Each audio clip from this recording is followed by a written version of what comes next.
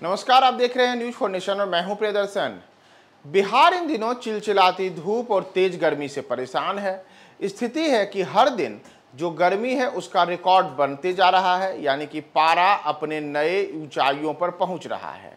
स्थिति है कि पिछले 10 वर्षों के अगर हम गर्मी के रिकॉर्ड की बात करें तो वह सब टूट चुका है। पारा इन दिनों 43 डिग्री के पार है तो ऐसे में बिहार में मानसून कब आएगा, इसे लेकर के एक बड़ा इंतज़ार सबका है। तो हम आपको ये बता दें कि बिहार में मानसून जल्द ही आने वाला है। मानसून की जो बारिश है, वह बारिश अब झमाझम होने वाली है और बाकायदा भारत के दक्षिणी भाग, यानी कि केरल में तो मानसून ने अपनी दस्तक दे भी दी है। मानसून की बारिश केरल से लेकर के अलग अलग जो राज्य हैं, उन तमाम जगहों पर होनी शुरू हो चुकी है। और बिहार में अगर हम मानसून की बात करें तो सामान्य अगर मौसम रहे तो ऐसी स्थिति में 15 जून का समय बिहार में मानसून के लिए माना जाता है। लेकिन इस बार चूँकि इस अब तक करीब एक सप्ताह की देरी पर पहुँच चुका है तो ऐसे में बिहार में जो मानसूनी बारिश होगी, वह मानसूनी बारिश भी अब थोड़ी सी देर से होगी। दरअसल जो भारत में मानसून का चक्र चलता है, उसके अनुसार मानसून एक जून को केरल की तटों से टकराता है, यानी कि भारत के सबसे दक्षिणी हिस्से में सबसे पहले मानसून ने दस्तक देती है, और इसके बाद यही मानसूनी बारिश धीरे धीरे आगे की ओर बढ़ता है। और इस स्थिति में पाँच जून होते होते मानसून की बारिश देश के करीब करीब पैंतीस फ़ीसदी हिस्से, यानी कि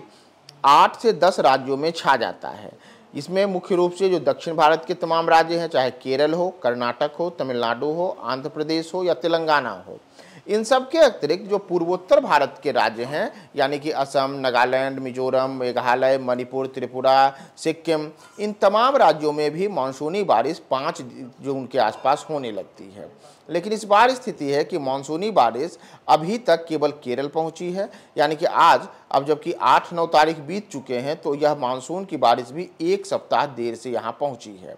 और ऐसी स्थिति में अगर हम बिहार की बात करें तो बिहार में इसके लिए जो मानसून के सामान्य दिनों में आने का समय होता है, वह 10 से 15 जून के बीच का समय होता है। लेकिन इस बार जब अभी मानसून की बारिश खुद केरल आई है तो अगर हम बिहार और बिहार के साथ साथ जो अन्य देश के मध्यवर्गीय राज्य हैं, यानी कि मध्य प्रदेश, छत्तीसगढ़, झारखंड, पश्चिम बंगाल, ओडिशा तो इन राज्यों में इस बार मानसून की बारिश करीब करीब अगर इसी अनुमान और इसी गति से बादलों का जो प्रेशर है वह आगे बढ़ते रहा तो उस स्थिति में करीब 22 से 25 जून के आसपास ऐसी स्थिति में बिहार में मानसून पहुँच सकता है। यानी कि मानसून की जो पूर्व की बारिश है, वह पूर्व की बारिश 20 जून के आसपास से बिहार में होनी शुरू हो सकती है और उसके बाद जो मुख्य मानसून की बारिश है वह होगी। तो अगले एक सप्ताह तक बिहार में गर्मी से फ़िलहाल तो निजात मिलने की संभावना न के बराबर है। और अगर हम मौसम विभाग के सूत्रों की माने तो अगले एक सप्ताह तक जो गर्मी का सितम है, वह बिहार सहित देश के तमाम जो पूर्व, पूर्वी राज्य हैं, दक्षिणी राज्य हैं और मध्य राज्य हैं,